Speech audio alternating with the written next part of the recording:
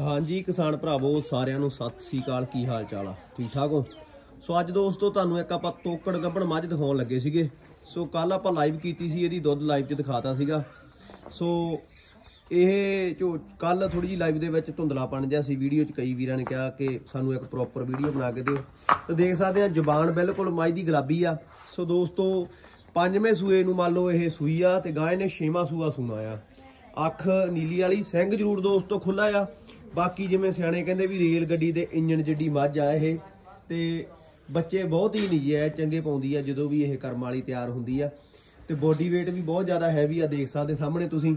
ਬਾਕੀ ਤੋੜ ਕੇ ਦਿਖਾ ਦਨੇ ਜਿਹੜੀ ਇਹਦਾ ਗੇੜਾ ਕਢਾਈ ਬਣਾਇਆ ਮੱਝ ਦਾ ਯਾਰ।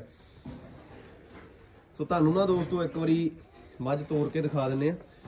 ਸੋ ਸਿੰਘ ਦੋਸਤੋ ਇਹਦਾ ਥੋੜੇ ਜਿਹਾ ਅੱਗੋਂ ਟੋਪੀਆਂ ਮਾੜੀਆਂ ਬੜੀਆਂ ਵੱਡੀਆਂ ਸੀ ਕਿਉਂਕਿ ਇਹਨੇ ਨਾ ਬਾਹਰ ਚਰਾਨ ਦੇ ਵਿੱਚ ਜਾਂਦੇ ਆ ਤੇ ਫਿਰ ਸਿੰਘ ਫਸਾ ਲੈਂਦੇ ਆ ਪਸ਼ੂ ਕਈ ਵਾਰੀ। ਉਹਦੇ ਕਰਕੇ ਮਾੜੇ ਮਾੜੇ ਅੱਗੋਂ ਸਿੰਘ ਥੋੜੇ ਥੋੜੇ ਆ ਦੇਖੋ ਕੱਟਦੇ ਸੀ। ਜ਼ੁਬਾਨ ਗੁਲਾਬੀ ਆ ਬੱਚੇ ਨੀਲੀ ਦੇ ਪਾਉਂਦੀ ਆ। ਤੇ ਸ਼ਹਿਨਸ਼ਾਹ ਬੁੱਲ ਜਿਹੜਾ ਵਾ ਮੰਨ ਲਓ ਅਹ, ਪਾਕਿਸਤਾਨੋਂ ਪੋਰਟ ਜਿਹੜਾ ਮੰਨ ਲਓ ਸਾਨ ਸੀਗਾ ਬਾਦਲ ਫਾਰਮ ਤੇ ਉਹ ਤੋਂ ਇਹ ਗੱਬਣਿਆ ਚੈੱਕ ਪਾਸ ਆ ਦੋਸਤੋ। ਤੇ ਅੱਜ ਲੱਸੀ ਲੁੱਸੀ ਮਾਰ ਕੇ ਤੁਸੀਂ ਸਾਰੇ ਨਵਾਏ ਸੀ ਤੇ ਮੈਂ ਕਿਹਾ ਚਲੋ ਕਿਉਂ ਨਾ ਆਪਾਂ ਤੁਹਾਨੂੰ ਅੱਜ ਇਹਦੀ ਵੀਡੀਓ ਤੁਹਾਨੂੰ ਦਿਖਾ ਦਈਏ। ਸੋ ਵੀਡੀਓ ਦੇ ਵਿੱਚ ਜੱਜਮੈਂਟ ਹੋ ਜਾਂਦਾ ਪਸ਼ੂ ਲਿਆ ਮੋੜ ਲਿਆ।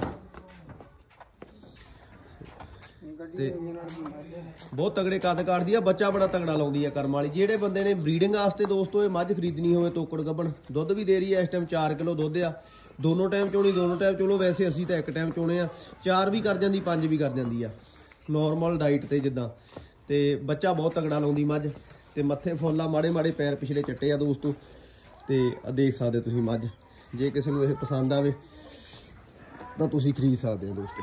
ਧੰਨਵਾਦ।